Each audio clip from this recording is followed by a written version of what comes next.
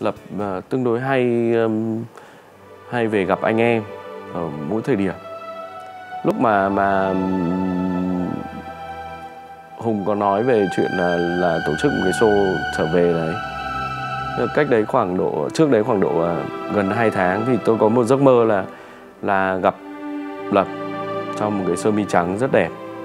Tôi Lập và Hùng ngồi với nhau À, lập ngồi ở trên à, cái cái cái thành giống như một cái thành tường này. Ngồi trên đấy. À, cười rất tươi cười rất là tươi. À, bảo là nhạc hay đấy. Nhạc hay kiểu khen kiểu như là tôi vẫn nhớ là kiểu chơi chơi đàn với nhau hùng đánh đàn xong lại bảo nhạc hay đấy. Ok đấy cười rất tươi.